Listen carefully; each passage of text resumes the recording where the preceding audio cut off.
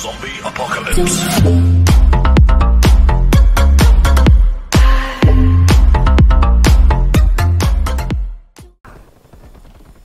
Hey guys, it's Bants here, and today I'm going to be showing you the MP5.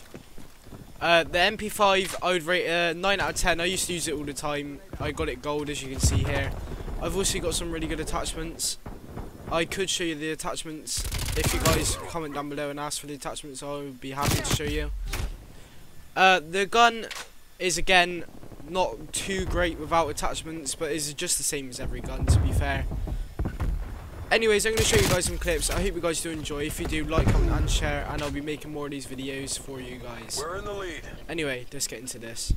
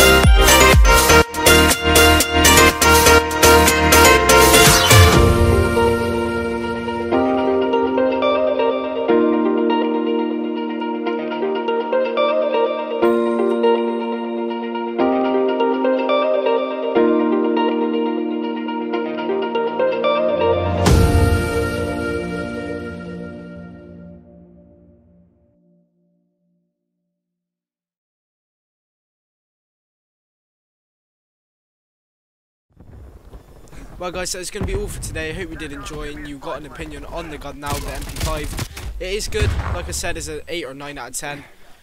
If you did like the video, comment, share, like it, subscribe, be greatly appreciated. Hostile spy plane established overhead. My name is Bants, and I'm out. Hope you have a good day.